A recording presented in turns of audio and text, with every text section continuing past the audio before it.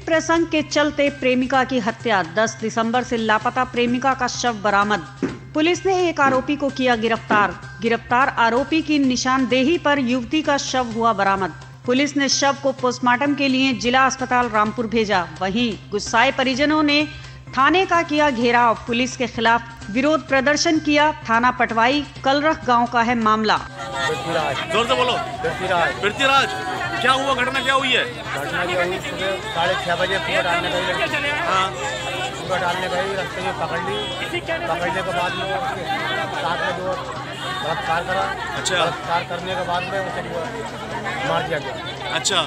ये आ, आ, कब लड़की कब गई थी आपकी? ये दस तारीख में सुबह। सुबह तो जब से गायब थी ये लड़की की डेड बॉडी कहाँ मिली है? ये लखनऊ में मिली था अच्छा। उसके घर के पीछे। अच्छा अब आपकी क्या मांग है?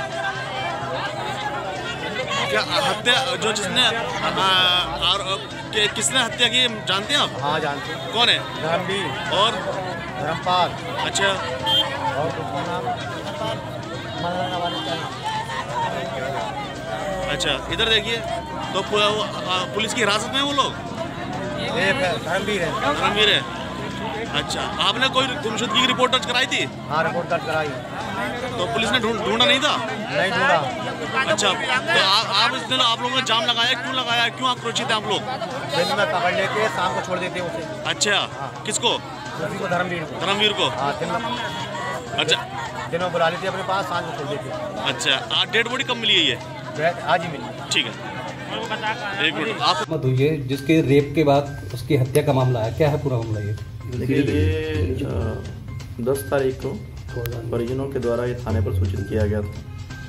अपनी जो बेटी है उसकी गुमशुदगी के बारे में और ये बताया गया था कि इसमें एक आरोपी जो उनकी जहरीर में नामजद था उसके बाद पुलिस के द्वारा इसमें जो जाँच की गई है जो आरोपी है उसके विषय में जब इसमें इन्वेस्टिगेट किया गया तो ये जानकारी मिली कि उस आरोपी के द्वारा उस लड़की की हत्या की गई है और आरोपी की निशानदेही पे ही जो बॉडी है उसको बरामद किया गया है।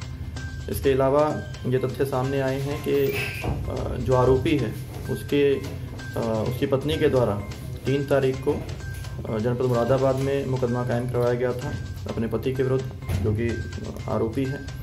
और इसके पश्चात इस आरोपी के द्वारा इस महिला की 9 तारीख को हत्या की गई।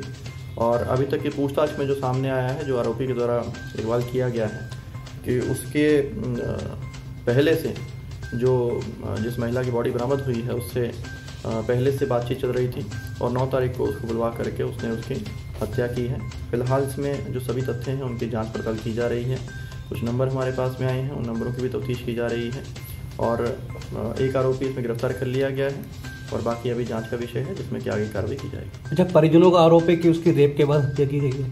देखिए जैसा मैंने बताया कि जो आरोपी से हमने पूछताछ की है और आरोपी की निशानदेही पे ही बॉडी को बरामद किया गया है।